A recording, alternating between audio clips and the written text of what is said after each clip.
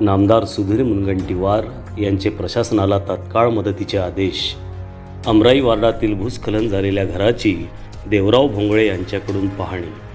घुग्गुस येथील अमराई वार्डातील एक घर शुक्रवार सव्वीस ऑगस्ट रोजी सायंकाळच्या सुमारास अचानक भूस्खल भूस्खलनाखाली धसले.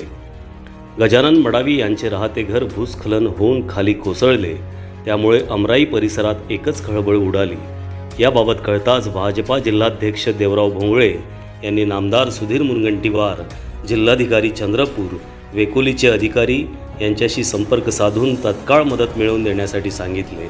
यावेळी नागरिकांनी घटनास्थळी मोठी गर्दी केली होती. या प्रसंगी पोलीस प्रशासनातर्फे दोरी बांधून भूस्खलनग्रस्त घराकडे जाणारे सर्व मार्ग बंद करण्यात आले असून जवळपासचे अनेक घरे सुरक्षेच्या दृष्टिकोनातून खाली करण्यात आली आहेत. अनेक घरातील कुटुंबियांना जिल्हा परिषद शाळेत हलविण्यात आले आहे. सायंकाळी दरम्यान मडावी कुटुंब घरी असताना अचानक घराची भिंत कोसळली. त्यामुळे ते सर्व घराबाहेर निघाले आणि काही क्षणात त्यांचे घर शेकडो फूट खड्ड्यात खाली धसले. जवळपास शंभर ते दोनशे फूट खड्ड्यात खाली घर धसले आहे. सुदैवाने त्यांचे कुटुंब थोडक्यात बचावले. या ठिकाणी वेकोलीच्या जुन्या काळातील अंडरग्राऊंड कोळसा खाणी होत्या. भुयार मार्गाने कोळसा काढण्याचे काम केले जात होते. कालांतराने या अंडरग्राऊंड कोळसा खाणी बंद झाल्या. वेकोलीच्या जिओसी कोळसा खाणीच्या जवळच अमराई वार्ड वसलेला आहे. शेकडो नागरिकांची घरे या ठिकाणी आहेत.